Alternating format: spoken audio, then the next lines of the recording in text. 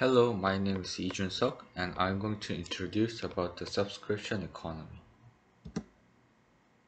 First, what is the subscription economy? Is it like YouTube subscribe? Or like what does this subscription have to do with the economy? So it's the subscription is the model that allows to consumers to regularly pay the goods they want to ship or use the service they want. Rental is also included in the broad-based subscription economy. Traditionally, regular subscription meant buying, reading, publication regularly.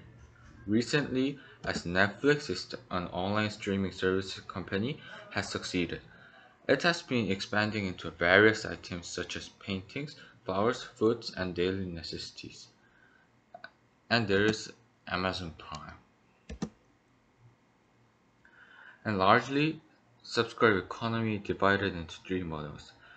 These are offline based traditional subscription services, rental business, and lastly, Netflix type subscription service. First, traditional subscription service are the way sellers create service or goods a specific location and provide them to buyers. A typical example is a health club. A rental business is a form of seller who visits the buyer himself and temporarily lend goods. This includes the water purifiers. And last, the Netflix type subscription service is a streaming form that regularly delivers products or services to buyers when they designate them. For example, Samdasu or Korea Yogurt Milk Kit have introduced the Netflix type subscription services. Look at this graph. It represents that subscribe economy market is advancing at a tremendous pace. I expect that because of the coronavirus, it is getting more commercialized.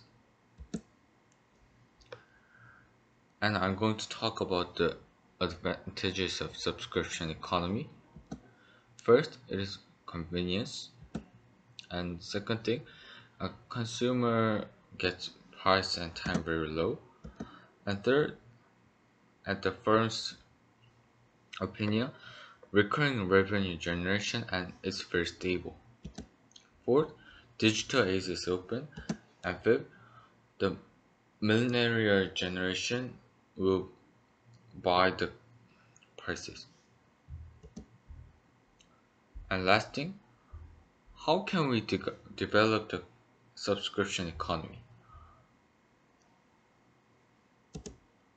Thank you for listening.